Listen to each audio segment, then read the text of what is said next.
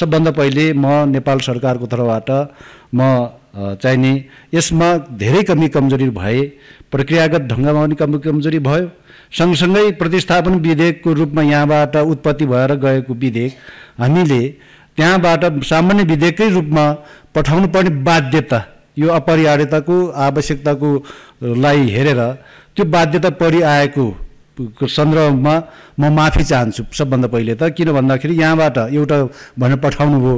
फेरि उताबाट अर्को भनेर हामीले पठाउनु पर्ने बाध्यता पनि आइपर्यो।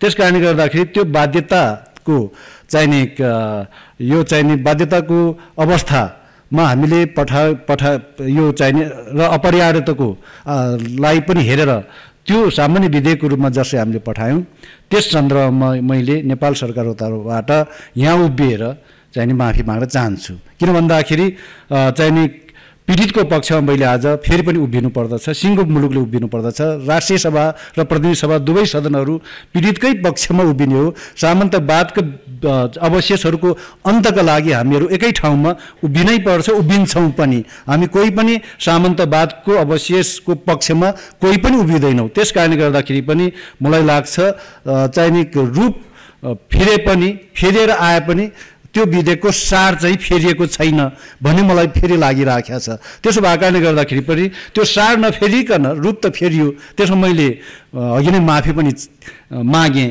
र त्यसको सार चाहिँ नि सारभूत रूपमा त्यसले फेरि वास्तवमा पीडकहरूलाई यो चाहिँ नि अनुचित लेनदेन गर- गर्ने पीडकहरूलाई फेरि कानुनी दायराभित्र ल्याउने काम गर्छ यो विधेयकले। त्यसो भएको कारणले गर्दाखेरि सारभूत रूपमा सार चाहिँ नफेरेको रूप चाहिँ फेरिएको अवस्था आइपुग्नु पर्दाखेरि म दुखित छु।